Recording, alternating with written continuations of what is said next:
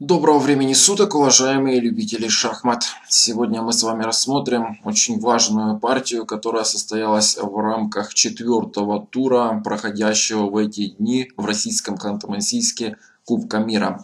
В этом поединке российский гроссмейстер Никита Витюгов играл черными, а его соперник Уэсли Со, соответственно, белыми фигурами. Напомню, что это вторая партия противостояния данных шахматистов. В первом поединке Никита Витюгов сумел использовать белый цвет и победил в ожесточенной схватке. Ну и, конечно, сейчас, играя белыми, Уэсли Со стремился во что бы то ни стало отыграться и перевести поединок на тайбрейк. Что же из этого вышло, мы с вами сейчас и посмотрим. Уэсли Со пошел Е4. Конечно, если шахматисты хотят во что бы то ни стало выиграть партию, они ходят именно так.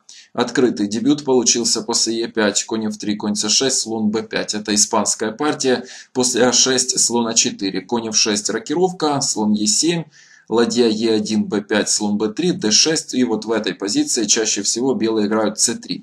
После короткой рокировки ставят пешку на h3. Здесь у черных широчайший выбор различных возможностей.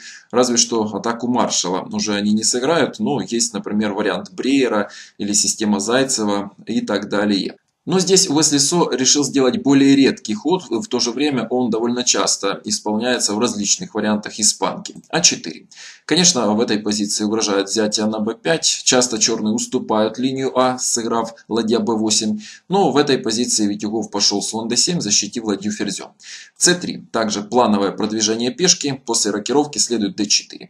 h6 сыграл Витюгов, конь bd2 конь идет по обычному испанскому маршруту. И как раз в этой ситуации Никита Витюгов забирает на d4. Дело в том, что сейчас конь с b1 уже на c3 не выйдет. Поэтому после взятия на d4 весь этот пешечный центр черных может быть довольно быстро атакован. Посмотрите, после конь b4 с угрозой конь d3, конь f1 следует резкая c5. Витюгов, которого в этой партии устраивала ничья, играет очень агрессивно и уверенно. Что же делать в Со? Он стал лихорадочно перебирать различные сложные варианты э, с целью хоть какую-то борьбу завязать и, конечно, избрал агрессивное Е5. После размена на центральном поле Витюгов просто отскочил на H7. Дальше коня можно ввести в борьбу ходом конь G5. И вот в этом положении Уэсли Со, конечно, мог забрать на B5. После слон B5 получалась примерно равная позиция. И американец не нашел ничего лучшего, как просто пойти E6. Конечно, когда вам нужно побеждать, вот такие агрессивные ходы напрашиваются сами собой. Но после взятия слоном слон Е6 последовал переход в окончании. Ферзь d1 и здесь Уэсли Со, конечно, забрал еще и с шахом на f7. Промежуточный ход. После король f7 ладья d1 черные играют слон f6. Пешек и фигур поровну, и черные создают даже определенное давление на ферзевом фланге. Правда, если развить слона на e3, что является лучшим решением, Конь c2, ладья c1. Больших проблем здесь у белых нет. Конь e3. Дальше конь e3. Пешка на c5 под боем, поэтому c4. Здесь дальнобойный слон гарантирует черным безбедную жизнь. Во всяком случае, равенство у них имеется.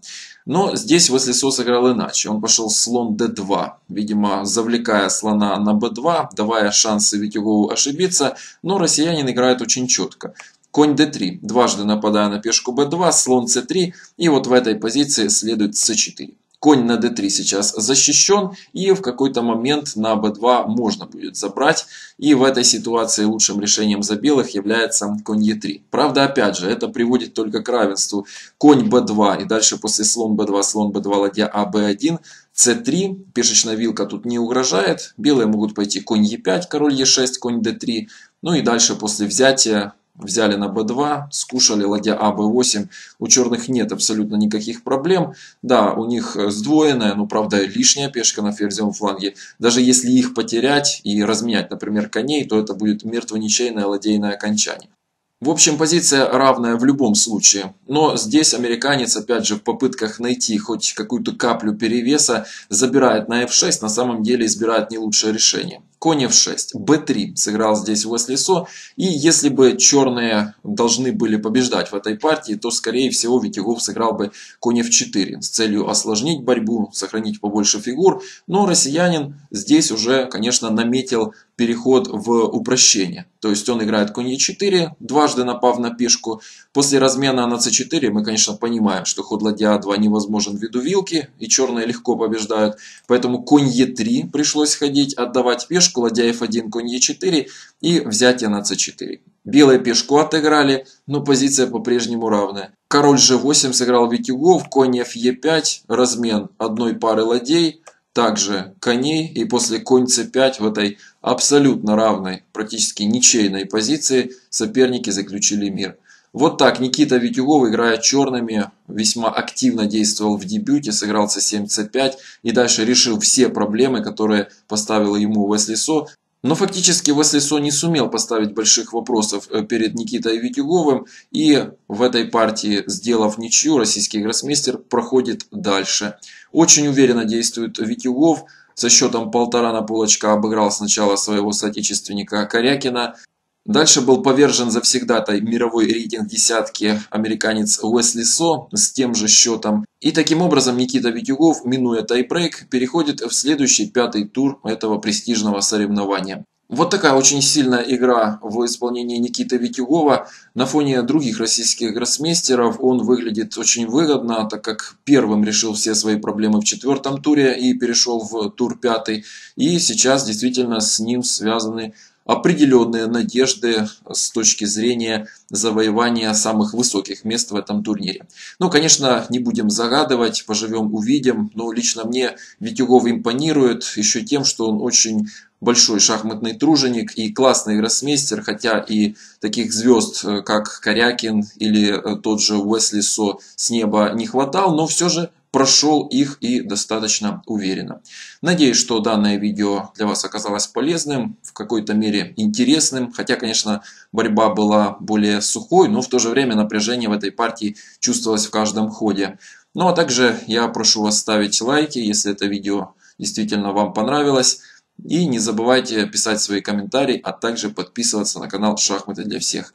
Продолжаем следить за этим интереснейшим турниром. Конечно, очень любопытно, кто же выйдет в финал этого соревнования. Но впереди еще много туров, много партий, много интересных обзоров. Спасибо за внимание. До свидания.